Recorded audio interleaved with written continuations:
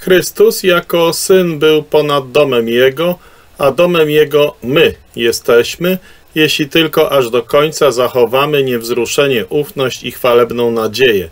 List do Hebrajczyków, trzeci rozdział, werset szósty. Apostoł i najwyższy kapłan.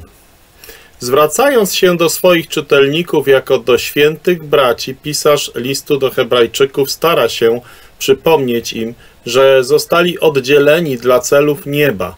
Nie są już ziemskim ludem, ale tymi, którzy zostali powołani do niebiańskiego powołania. Dotyczy to każdego narodzonego na nowo wierzącego w dzisiejszych czasach. Jesteśmy połączeni z niebem przez tego, który powrócił do Ojca, a Jego obecność tam przygotowała dla nas to miejsce, podczas gdy Jego dzieło na krzyżu przygotowało nas do tego miejsca. Następnie pisarz zachęca nas do rozważenia tej błogosławionej osoby, która jest zarówno apostołem, jak i najwyższym kapłanem naszego wyznania.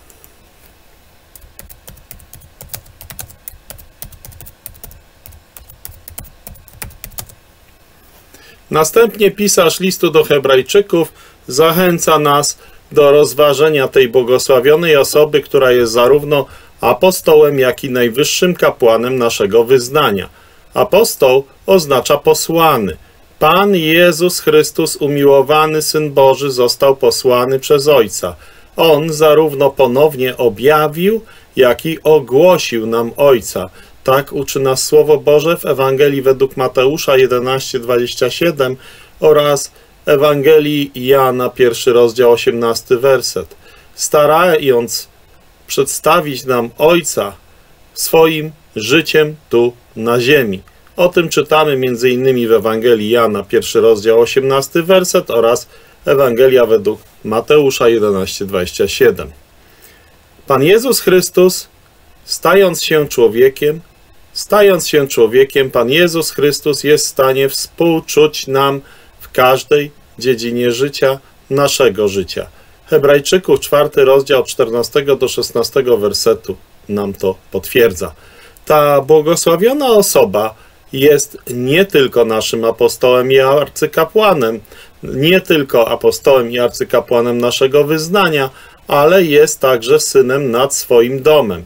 Jeśli chodzi o zbliżanie się do Boga, przychodzimy przez Pana Jezusa Chrystusa, jak uczy nas Ewangelia Jana, 14 rozdział, 6 werset.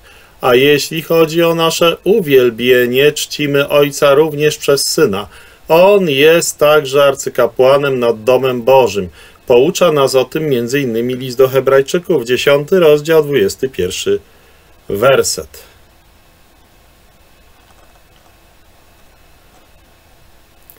List do Hebrajczyków, trzeci rozdział, werset szósty.